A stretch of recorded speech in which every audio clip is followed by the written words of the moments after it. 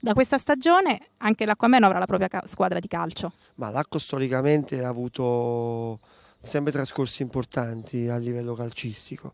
Due anni fa eh, purtroppo abbiamo dovuto chiudere i battenti per quanto riguarda la prima squadra perché le spese di gestione erano diventate troppo onerose e quindi più, anziché fare brutte figure con i ragazzi e con tutti quanti, si è preferito diciamo, prendersi un po' di riflessione.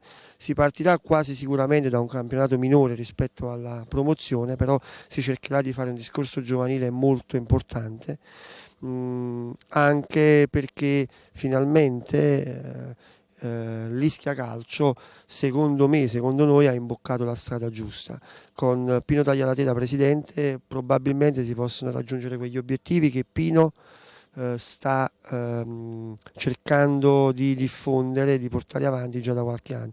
L'idea di Pino è quella di creare eh, di formare un laboratorio isolano affinché si possano creare sull'isola eh, giovani per dare all'Ischia Calcio. Quindi io credo che nel giro di qualche anno vedremo in prima squadra, mm, nella squadra principale del, diciamo, isolana, parecchio prodotto isolano. È ovvio che non è che dalla sera alla mattina si può eh, inventare il calciatore, però se si gettano le basi eh, da subito, nel giro di qualche anno sicuramente si raccoglieranno frutti molto importanti. Questa isolana è una realtà in cui eh, vengono fuori tanti ragazzi, è ovvio che i ragazzi non trovando poi sbocchi eh, si fermano e non si perdono calcisticamente parlando. Dal punto di vista economico, tra l'altro, puntare sul settore giovanile può essere anche una risorsa. Vediamo quello che è successo in alcuni club di Serie A, quali il Chievo, l'Atlanta, l'Udinese. Certo, eh, sta dicendo una cosa giustissima.